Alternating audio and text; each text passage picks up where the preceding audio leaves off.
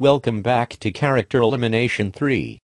Since the Let It Go Warriors lost, let's go to the Elimination Center. Okay contestants. We have six grapes.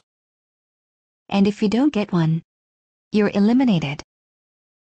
Elsa, Anna, Olaf, Winnie the Pooh, Alice, and Rapunzel are all safe at zero votes. And Homer is eliminated at 5 votes. Oh no. I got eliminated. Doe.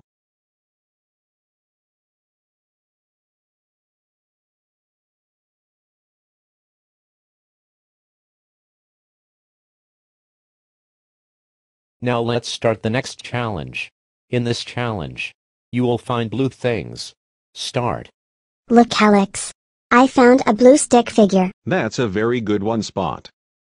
We found some blueberries. Good choice Julia and Maria. My dress is blue. So it counts. Yes, it does, Alice. And my dress is icy blue. My dress is dark blue as well. I'm Peter. What did you find? I found a red crayon Judy. Oh, I see. But the challenge was to find blue things, not red things. So our team is going to lose. So everyone but the bunny cops lost. Because Peter found a red crayon instead of a blue thing. So one of them is up for elimination. Vote for anybody from the bunny cops to be eliminated.